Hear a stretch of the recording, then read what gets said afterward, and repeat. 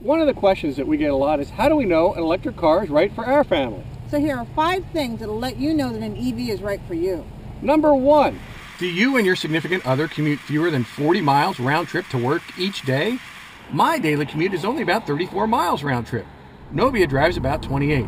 That means on a full charge, either of us can easily drive Sparky to and from work and still have enough range to go shopping, visit friends and family, and handle any other surprises that might come up. Number two, are you a two car family?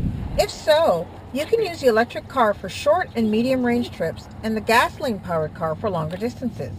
We usually park the gasoline powered car and use Sparky most of the time, but it's great to have that other car for those long trips to Canada to visit my family several times a year.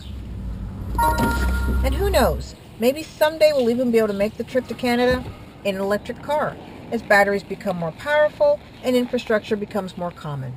Number three, is there a place that you can install an electric charging station at your home? Some people put it in a carport inside their garage, but we have ours on a post next to our driveway so other electric car owners can use it even if we are not home.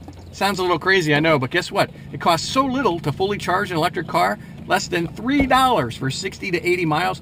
We just don't care. And if we let EV owners use our station, chances are they'll let us use theirs too. Number four, is there charging infrastructure at your workplace? Many businesses, nonprofits, and government agencies allow their employees to charge for free while at work. Why not take advantage of it? It cuts your fuel costs even more. And number five, does your energy provider allow you to buy clean energy for your home?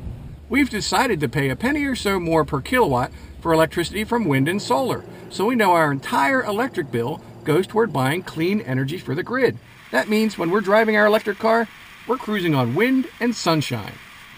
You know, there's a lot more that you can learn about electric cars, but guess what? If we tell you everything, you don't get the chance to discover it for yourself. And that's half the fun.